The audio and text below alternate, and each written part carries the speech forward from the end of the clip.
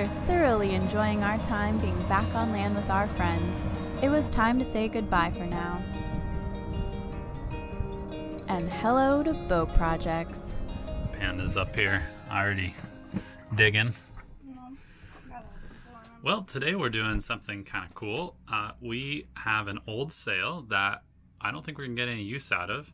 And in town here in Bar Harbor, there's a small shop that takes donated sails and they make really cool bags out of them. So I walked in the shop yesterday and I asked if they would take a sail, and they said absolutely. And even on top of that, they said they'll weigh it. If it's over a certain amount, we get to pick an item from the store. So I thought that's pretty neat. So this is a, a sail that came with the boat when we bought it. It's a big Genoa, probably like 170 or 180 percent Genoa. We already have one that large, a newer one. This is a bit older. I think it's been repaired a few times. It's still serviceable and worked, but I don't think we have any need for two of those, especially since now we have a new Genoa, a much smaller one. So we kind of have a, a good range of, of sails. So it's taken up a ton of space because this thing is huge. So we're gonna go dig it out of the locker. Oh, look at that bad boy. So you excited to pick out a bag maybe? Yeah, that's pretty cool to get a bag that's out of recycled sails. It's kind of like they get a new life Yeah, as a bag. yeah. Instead of just cool. being junked, like it's good material. Yeah,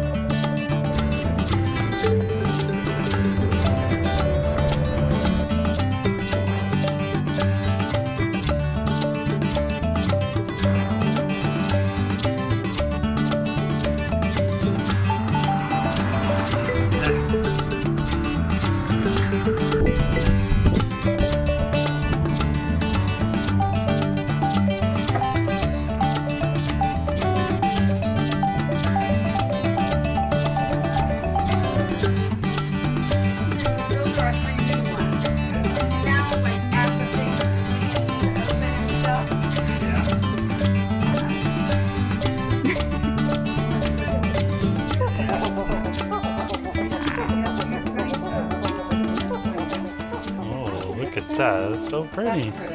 Yeah. There might be one that has um, those little. Oh, Ah. it's all the lobster pots or the buoys. Yeah. Oh, that's really cool. I hope you enjoy your service. We will. Worked out really well. How cool.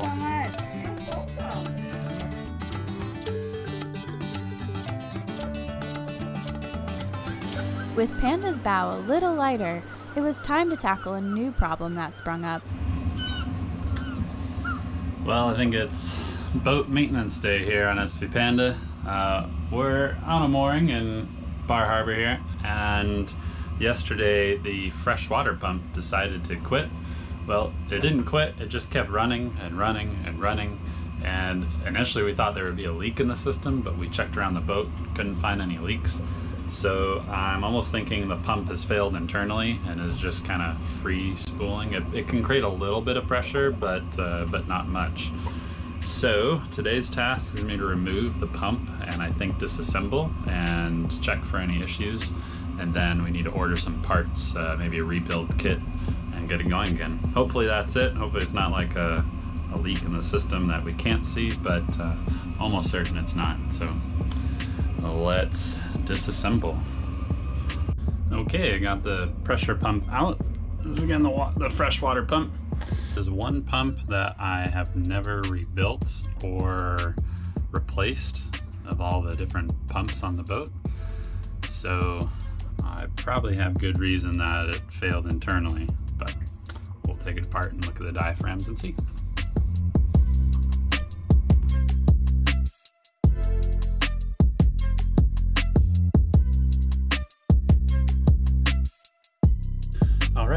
Think I found the culprit uh, in this like little diaphragm pump. I think there was a couple of really small cracks right in that corner here, and then another one here. And this bladder, the rubber is is really stiff. The bladder doesn't move much, so uh, probably old and then compounded with coming to cold climate. The water's cold, and I think everything just kind of got tight and cracked. So otherwise, the rest of the pump is fine. It's just a casing and, and a belt and a motor, which all that works fine, and the the pressure side. So, yep, just need a rebuild kit. I think we'll be back in service. So we ordered a rebuild kit and even a new shower faucet for our head. And while we waited for delivery, we spent some time enjoying hikes around the area.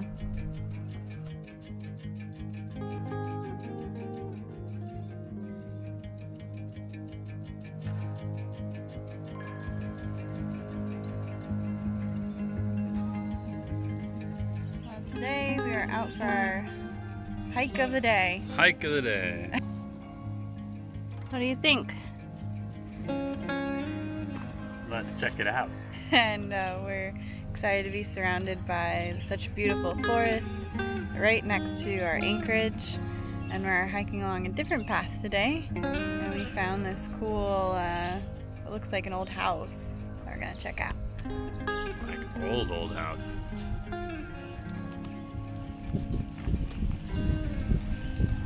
But I had quite the view, I think. Yeah. Even though the trailhead said private drive, this whole island is owned by Acadia National Park. But at one time, it was home to the famous reporter, news anchor, and documentary host Jack Perkins and his wife Mary Jo for 15 years.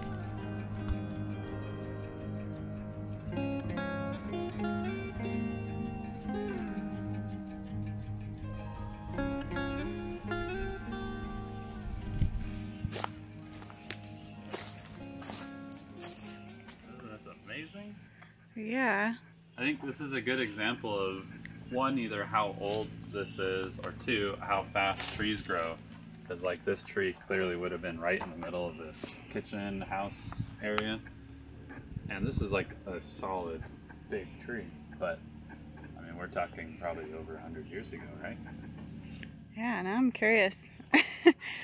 what this was. Yeah, but nice like a proper fireplace chimney.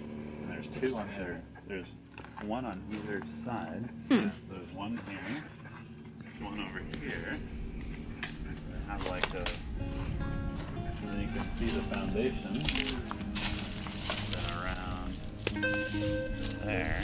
Yeah, so it's probably like a kitchen. I don't know. Not quite as old as we thought. In 1984, after falling in love with Maine, the couple built a small off grid cabin on 12 acres of land surrounded by the park and named it Moosewood, after the striped mountain maple trees also known as moosewood.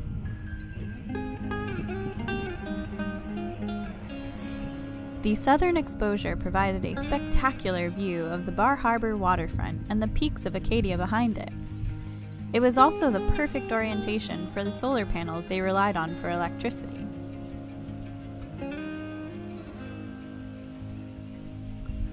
We felt that we could relate to the passion of this couple's desire for off grid and simple living. This would be an awesome house. The view is incredible. We seem to have found another chimney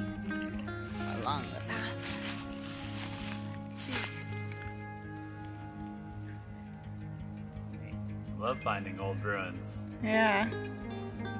Exciting.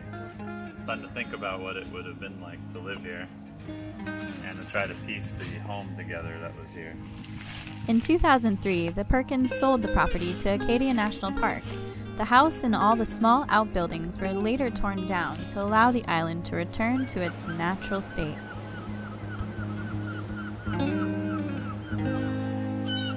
But we just finished re rebuilding the freshwater pump. New seals, new valves, new belts.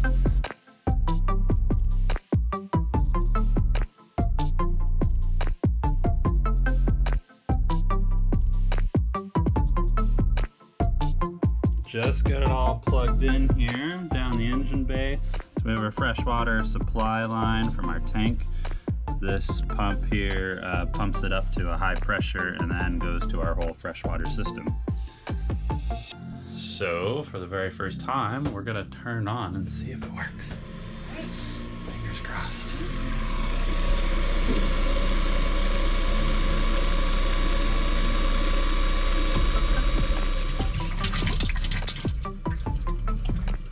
Purge all the air. Oh. Oh, there we go. There it is. Oh, it purged all there. Oh my gosh, it worked. We built pressure. Wow. Filtered water. You can leave it on. Let them both run. There's probably some air up in this one too. It sounds healthier.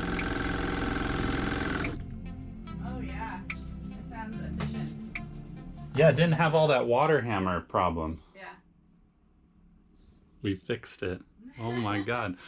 The pump has uh, like a water dampener inside on the input and the output, but this was the state of the current of the previous water damper. This rubber one is like really hard and old. And two, it was just completely collapsed. And then uh, and then I think it had split in a corner and so it was just bypassing pressure from the low pressure side to the high pressure side. Also, we replaced these valves that were in it, and like this rubber is really hard, where the new valves are totally soft. And then last, we have this rubber piece that see is pretty well deformed and getting some micro cracks, and that's new too. So I think the pump was just long overdue for a rebuild. Uh, we never rebuilt it. I mean, it's probably been in there for like 10 years, I assume, with how hard all this rubber is. I'm really happy with how that went. Holy cow. That was quick. Yeah, we ordered the part. Little plug for Defender Marine. If you don't know who they are, look them up.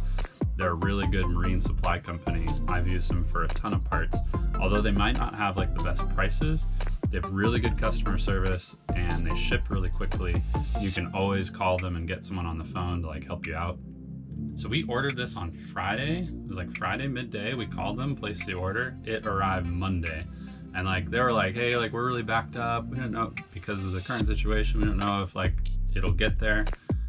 It got there no problem. So we're we're stoked in just two days. So while Darren made or fixed the pump, I made breakfast. Toasted bread. Toasted bread. I love Toasted bread with scrambled eggs and mushrooms, jalapenos, and onions. And Swiss cheese on top because every meal should have cheese. Yeah. Planning for colder climates, sailor showers, bathing off the transom, and jumping in the ocean were now becoming out of the question.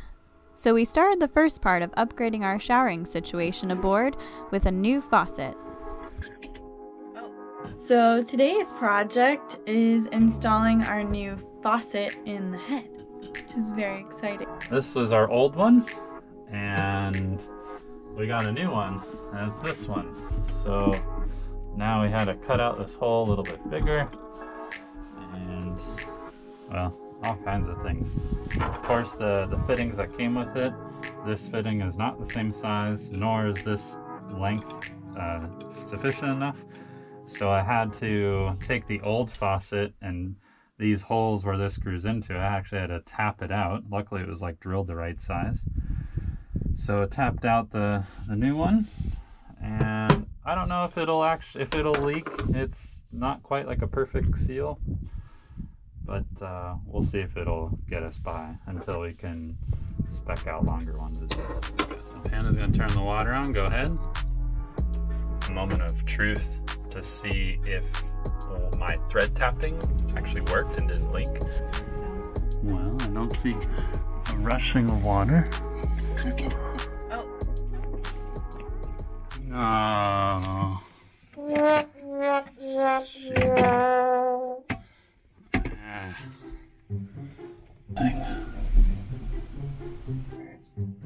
Can you turn it on again? All right, hold.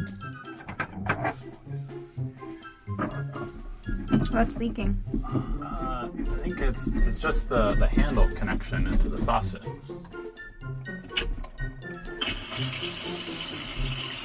Um, are you sure there isn't something else in the box? This keeps leaking. There's no like valve rubber gasket thing. Ah, yeah, Found it? yeah. Metal on metal connection. That doesn't work. So, yeah, that's what we need. 12 seconds later. What's the new leak?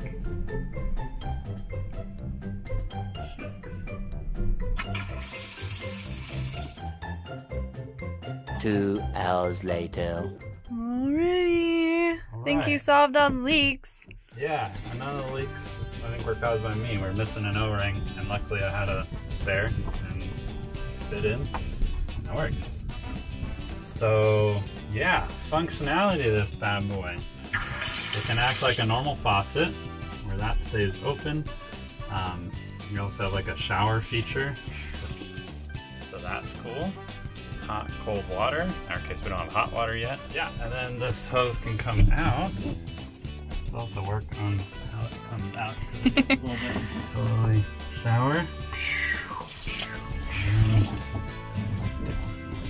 Actually, that worked pretty well. Oh, now it came up okay. Yeah. Boom.